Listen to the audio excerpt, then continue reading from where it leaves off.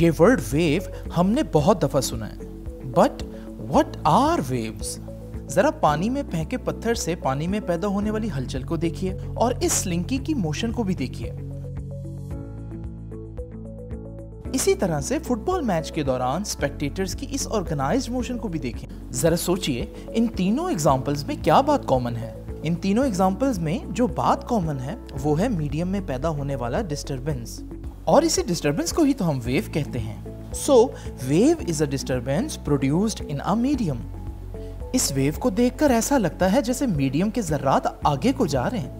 मगर इस human wave की मिसाल से हम ये समझ सकते हैं कि जर्रात आगे को हरकत नहीं करते, बल्कि अपनी जगह पर टू एंड फ्रो मोशन करते हैं। याद रखिए कि सब वेव्स एक जैसी नहीं होती, बल्कि वेव्स की बहुत सी टाइप्स होती हैं, जिनमें से हम दो टाइप्स की वेव्स को आज समझेंगे। अगर मैं इस लिंकी को एक एंड से मूव करूँ तो इसमें एक वेव पैदा हो रही है। मगर क्या आपने एक बात पर गौर किया? इस वेव ने रस्सी के किसी हिस्से को भी रेस्ट पर नहीं रहने दिया, बल्कि हर जर्रा अपनी बारी आने पर हरकत करता हुआ दिखाई दे रहा है। ऐसी वेव जिसमें मीडियम का कोई जर्रा परमानेंटली रेस्ट पर ना रहे प्रोग्रेसिव वेव कहलाती है।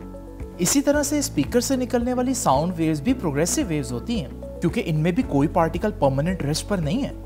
लेकिन क्या कुछ ऐसी वेव्स हो सकती हैं जिनमें कुछ पार्टिकल्स परमानेंटली रेस्ट पर रहें? जी हाँ स्टूडेंट्स ऐसी वेव्स भी होती हैं। अगर मैं स्लिंकी के इस एंड को हरकत करने से रोक दूँ तो इसमें कुछ ऐसी वेव्स जनरेट होंगी जिनमें कुछ पार्टिकल्स अपनी जगह पर हमेशा रेस्ट पर रहेंगे।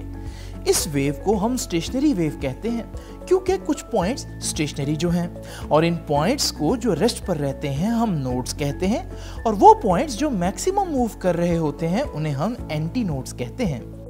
इसी तरह से पानी में भी स्टेशनरी वेव्स प्रोड्यूस की जा सकती हैं। पानी में पैदा की गई स्टेशनरी वेव्स में भी नोड्स को देखा जा सकता है।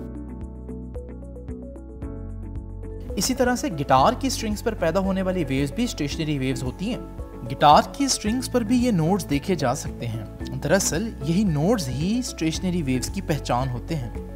बच्चों वेव्स की और बहुत सी इंटरेस्टिंग प्रॉपर्टीज़ जानने के लिए पीजीसी ई लर्निंग ऐप पर हमारे कंप्लीट लेक्चर ज़रूर देखें।